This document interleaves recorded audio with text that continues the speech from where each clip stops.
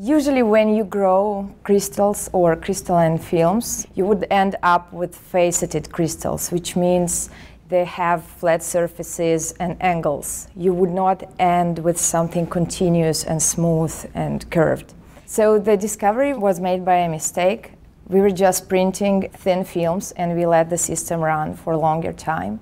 And then we just noticed that beyond certain film thickness, we are starting to obtain very interesting circular features. We thought maybe it was some organism or something that just like got attached to the surface. But then we repeated and repeated a couple of times, and then we actually saw that we can control what we are growing, so we can control the sizes of those features and how fast they can grow. So it was obvious it was not a mistake, that it's much something much bigger than that.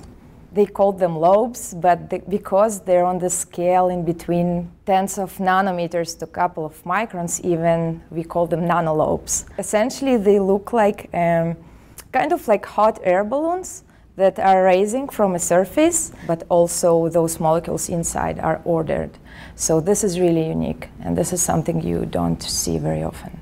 Those films that I'm making can be useful for um, solar cells, for light emitting diodes, for various types of sensors and we can do it essentially on any possible substrates. It can be metal, it can be plastic. You can imagine this kind of system can print um, solar cells on a glass, for instance, on a glass that we'll use as a window. If you would coat the solar cell with a structure like ours, this would enable, for instance, to filter only the wavelength range that you would need for a specific solar cell. And that can make solar cells much more efficient. Because those materials we are working with are similar to what is used in pharmaceuticals industry, we are also starting to work on drugs printing. So if you would, for instance, would get a film that has very high surface area, it would dissolve in your body much quicker than just a compressed powder tablet. It would be a big breakthrough, especially with drugs that are hard to absorb.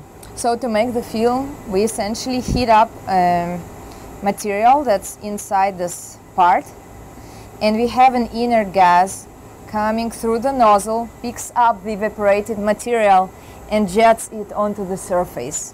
This way you can obtain pretty much any desired pattern. It can be a film, it can be a line, it can be a dot, whatever shape you define. It was quite challenging to build a model that would predict something like this because it's, it's kind of combination of material properties and the technique and the deposition properties.